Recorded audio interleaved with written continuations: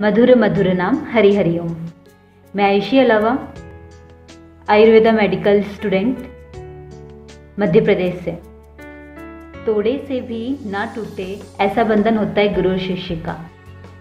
गुरुदेव की कृपा दृष्टि का वर्णन ही क्या करूँ, वो तो अवर्णनीय है। ना ही शब्दों में बांधा जा सकता है, ना ही कोई शब्दों की सीमा।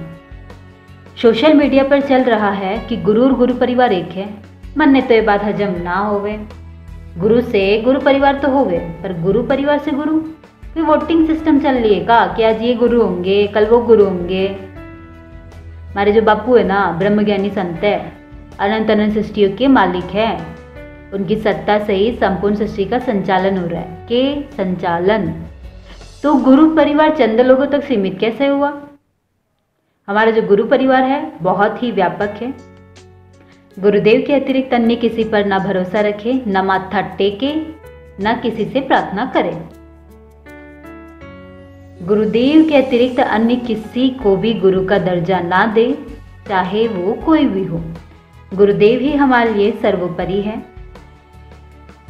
क्योंकि हम सब जानते हैं, गुरु कृपा ही केवलम शिष्य से परम मंगलम। विडम्बना की बात तो ये आती है कि पहले साधक और नॉन साधक के बीच में लड़ाई होती थी। बट आज देखा जा रहा है कि हम साधक लोग आपस में अनेक मतभेद से लड़ रहे हैं। तो भोले बालक साधकों को मैं अवगत करा दूँ कि ये षड्यंत्रकारियों का ही खेल है।